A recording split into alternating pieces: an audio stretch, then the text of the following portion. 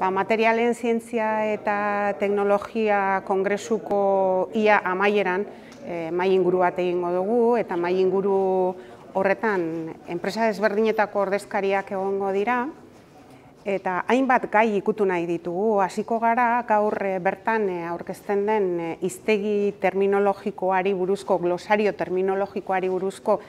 gogo eta batekin, eta gero hortik eh, jarraituko dugu materialei buruz hitz egiten eta materialak lotuko ditu hain zuzen ere lengaiek eh, bizi izan duten eh, krisialdiarekin edo bizi duten krisialdiarekin eta zergatik ez garapen iraunkorreko helburuak ere aipatuko ditugu eta hizkuntza kongresuanen oinarrian gure hizkuntza baitago euskera eta